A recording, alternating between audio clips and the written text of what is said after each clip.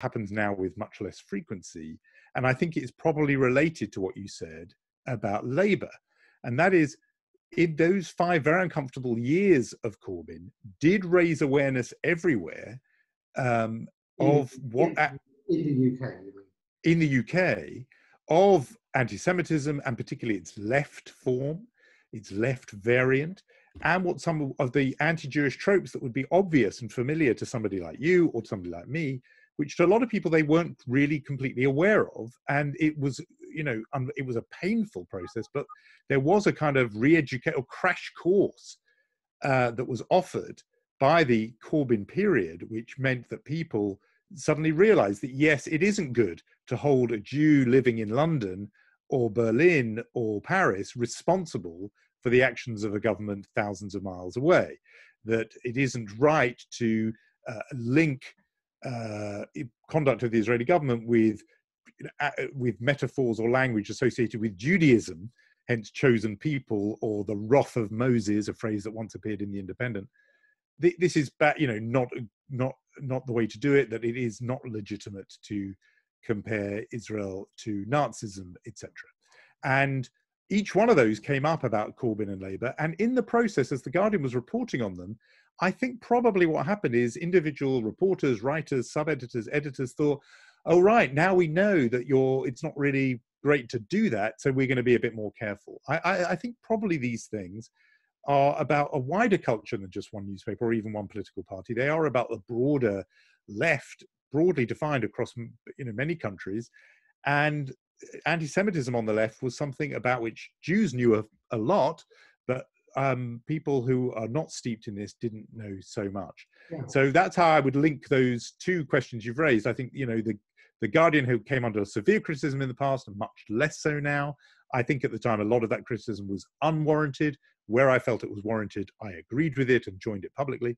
Uh, these days, perhaps much less because people have had a bit of an education in how anti Semitism works. And particularly, as I say, people who didn't believe that people who were anti racist could also harbor anti-Semitic attitudes. I think a lot of people found that fascinating. That Jeremy Corbyn would say, "Of course I'm not. I'm an anti-racist," believing that must end the argument. And what Jews were able to do is to say that people who are who imagine themselves to be tremendously progressive uh, figures, if they believe their job in life is to attack power, and if they have swallowed the anti-Semitic canard that Jews are power, they will then themselves lurch into anti-Semitic framing. And that was something I think a lot of people didn't really realize before. But you know, even today, there's right now a big uh, debate going on about statues of disagreeable people. You have uh, famously uh, the statue of the in Bristol of a slave uh, trade slave owner called Edward Colston was toppled down and thrown into the, the lake or canal there, and uh, they're now uh, a big petition to remove all kinds of statues. Just yesterday, Rhodes, as in the Rhodes Scholarships, as in Bill Clinton, and so on at Oxford, University, they're going to take down, I can't remember if it's a bust or statue or plaque of Rhodes himself. Um, and, you know, on balance, certainly in the case of Bristol and the, the, slave trader, I think it's a good thing that the statue has been removed. It would have been better if it had been done peacefully rather than by, sort of, you know, by a group just taking the law into their own hands. But never mind, I think it's probably a good thing that's come down. But now we're in a situation where, for example, there's a mass petition to remove a statue of Gandhi in Leicester in the British Midlands. It was only put up in 2009 by the British Indian community. And the petition, I quote, says he is a fascist, a racist, and a sexual predator about Gandhi. Now, I haven't studied the history of Gandhi, so I don't necessarily want to comment on that.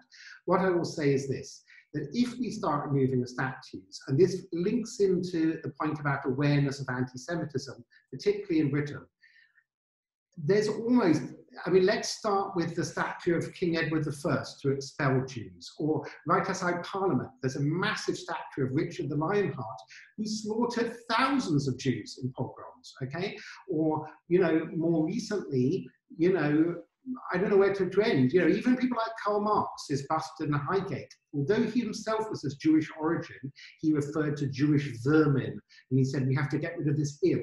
There's no question that Karl Marx is the ultimate example of a Jewish anti-Semite. I don't even like the term self-hater because he didn't hate himself, he hated other Jews. So my point is this, where do you stop? Virtually every church and cathedral in continental Europe from the pulpit of that church has been some call to go and massacre Jews at some point in European history. Are we to tear down churches and statues and cathedrals? Are we to tear down the uh, pyramids in Egypt, which were largely built by Jewish slaves? Of course, my answer is no. But what I would like to have is more awareness, at least in the pages of The Guardian, for example, while not calling for the removal of statues which are offensive to Jews, awareness that anti-Semitism wasn't just in Germany or Poland. It didn't just start with Hitler and end with Hitler. It's a very long, drawn out process and indeed has a very long history, unfortunately, in Britain too. And I think the education for, let's say, the Corbyn period and the British left should and could be widened out to something across the political divide. It's obviously not just a left wing thing. There's plenty of anti Semitism among, um, you know, in the shires and the English conservative shires as well.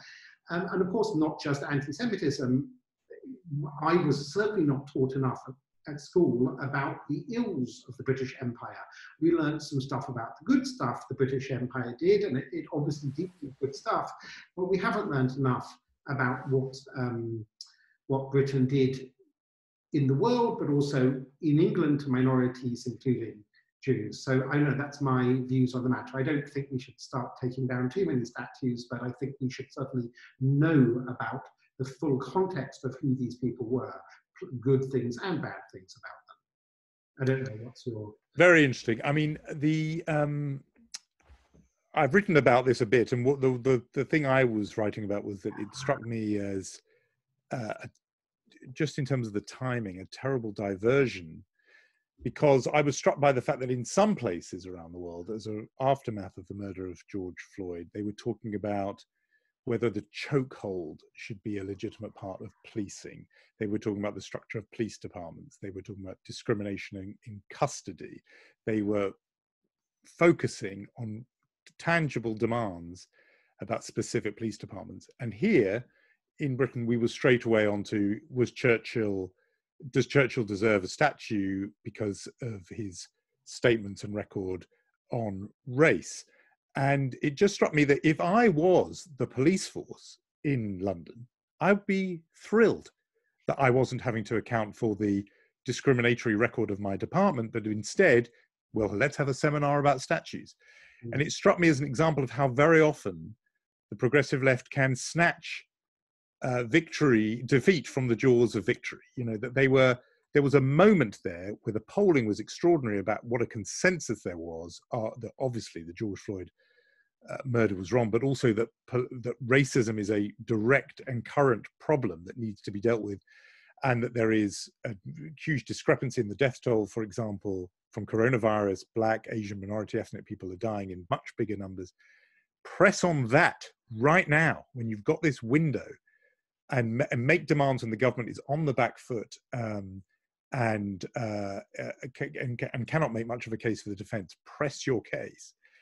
Uh, and instead, uh, it was moving on to territory where progressives and the left will lose because you will lose an argument about keeping a statue to Churchill. This country regards Churchill as its greatest ever leader uh, and, crucially, a figure of anti fascism in the sense of he fought alone against Adolf Hitler and the Third Reich. So why shift ground from where you might win and where you actually can gain tangible gains to where you might lose? And it just, I, I felt the same similarly, by the way, about the slogan in the United States, defund the police. Now I know what they mean. They mean shift funding from, you know, buy military style hardware for police departments and put it into mental health provision and uh, provision for youth and uh, and children in departments because not every hammer you know if you man with a hammer every problem looks like a nail. If your only tool is a police department then you're always going to criminalize every problem. I agree with all that. But if you make the slogan defund the police what people hear is abolish the police. And they think, well, if my house is burgled, I would like to be able to call 911, 999 and have the police. There are some now, in America calling for the abolishment of the police. I know they are, but that's but that I know there are, but that is to turn a winning issue into a losing issue. No question. Because because because you look at the polling and African Americans by huge numbers do not want to abolish the police, and the same for Latino Americans and older Americans and poorer Americans, and the same goes through here. So it struck me as just the most uh, wrong-headed um, displacement activity and shift away from what you needed to focus on. And I, you know, there are many uh, lawyers and but it's not just lawyers. There are many activists and writers, black lawyers, black activists, black writers, uh, who've been making the same point. Let's stay focused on policing, criminal justice system, where we might win rather than on a cultural issue, a culture war, which in my view always favors the right. On your specific point about Jews, I think that is it's interesting because you don't hear any Jewish person saying, let's tear down these statues. I haven't heard anyone say that, but I have heard them say, let's at least be aware of them. And maybe if we are going to talk about statues, if that is now the topic of the day, and I've explained why I don't think it's uh, brilliantly timed, but if we are going to get into that, then absolutely, it'd be quite useful to explain about Richard the Lionheart and the Crusades, uh, etc. Um, specifically because, as you say, people are probably not aware of the millennium long history, not just of anti Semitism, but mm. specifically English anti Semitism. One of Britain's gifts to the world, England's gifts to the world, is the blood libel, the accusation that Jews, uh, you know, false accusation that Jews use the blood of uh, Christian or Gentile children for some ritual purpose. It's a total invention. It's uh, I, I, make a radio program for the BBC called The Long View, in which we look at the historical precedents for things going on now. And we did a program about fake news with the historical precedent being the blood libel in Norwich. William of Norwich, a child who was killed probably by his own family in a in a child abuse case, uh, who which they blamed on the local Jewish population of Norwich, a city in the east of England, whose Jewish community numbered at the time 25. There were 25 Jews in Norwich. They said they killed this child, and thus the blood libel was born and spread around England to Lincoln and other cities, and then to Europe and of course resurfaced in a lurid way in the Nazi period. So it would be very good to use this as a point of education. Why not? You know what? It, since they took down the statue in Oriel College, Oxford, of Cecil Rhodes yesterday, there is a. Um... They haven't taken it down. They voted to say that it should be taken down. Okay. Well, it, um, somebody just mentioned to me this morning that at King's College London, there's an image of King Henry III outside, and he banned the construction of synagogues and forced Jews to wear badge, which was one of the symbols which inspired the Nazis, the yellow star later. So do I think the image of King Henry III should be taken down at King's College London? I do not.